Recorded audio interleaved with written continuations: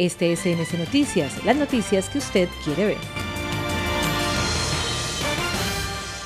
Precisamente nosotros hablamos con Centroaguas, empresa encargada de esta obra sobre la calle 27. Miremos qué le dijo Centroaguas a la comunidad del barrio Victoria.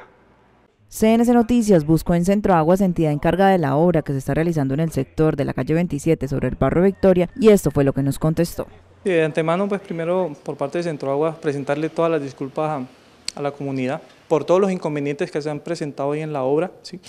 Eh, prácticamente en el momento pues, que se hicieron las primeras excavaciones, se observaron otras redes que impedían la instalación de nuestra red, se tuvo que hacer un lleno, posteriormente otra relocalización, se hizo las excavaciones, pero la semana pasada ya se hicieron los últimos enmayes sobre la calle 27 con 31, eh, esperamos nosotros terminar de hacer llenos, toma de densidades y empezar con la fundición de la losa de pavimento para poder dar el servicio en todo este sector.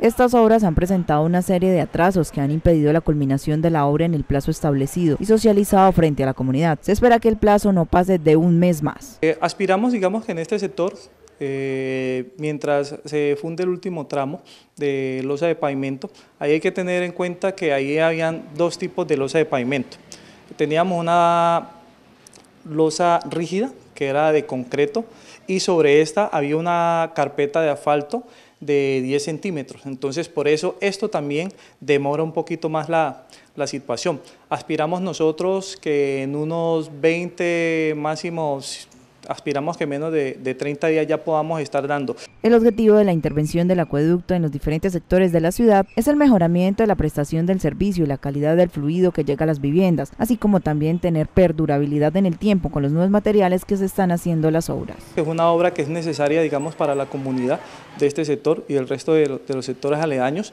pero es necesario. De antemano, como siempre, presentamos disculpas por estas situaciones, pero eh, es algo que es muy necesario.